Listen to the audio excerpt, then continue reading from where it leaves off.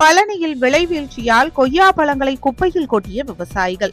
பழனி ஆயக்குடி சட்டப்பாறை அமரப்பூண்டி சத்திரப்பட்டி கோம்பைப்பட்டி கணக்கன்பட்டி ஆகிய பகுதிகளில் ஆயிரத்தி இருநூறு ஹெக்டேர் பரப்பளவில் லக்கோனா நாற்பத்தி ஒன்பது மற்றும் பனாரஸ் என்கின்ற கொய்யா சாகுபடி செய்யப்படுகிறது. கொய்யாவுக்கென பிரத்யேகமாக ஆயக்குடி பேரூராட்சி அலுவலகம் அருகே திறந்த வழியில் சந்தை செயல்படுகிறது. இந்த சந்தையில் நாள்தோறும் முப்பது டன் கொய்யா விற்பனையாகும். வெளிமாவட்டம் வெளிமாநில வியாபாரிகள் மொத்தமாக கொள்முதல் செய்கின்றனர் தற்பொழுது கொய்யா சீசன் தொடங்கியுள்ளதால் வரத்து அதிகரித்துள்ளது. கடந்த சில நாட்களாக வெளியூர்களிலிருந்து வியாபாரிகள் வராததால் கொய்யா விலை வீழ்ச்சியடைந்து வருகிறது. வழக்கமாக இருபத்தி இரண்டு கிலோ அடங்கிய கொய்யா பழப்பெட்டி எண்ணூறு முதல் ஆயிரத்தி இருநூறு ரூபாய் வரையில் விலை போகும்.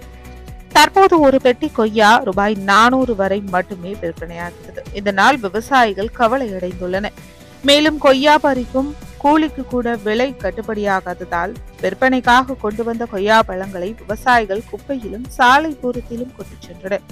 தோட்டக்கலைத்துறை மூலமாக கொய்யா பழங்களை கொள்முதல் செய்து பழச்சாறு கம்பெனிக்கு அனுப்ப ஏற்பாடு செய்ய வேண்டும் என விவசாயிகள் கோரிக்கை விடுத்துள்ளனர்.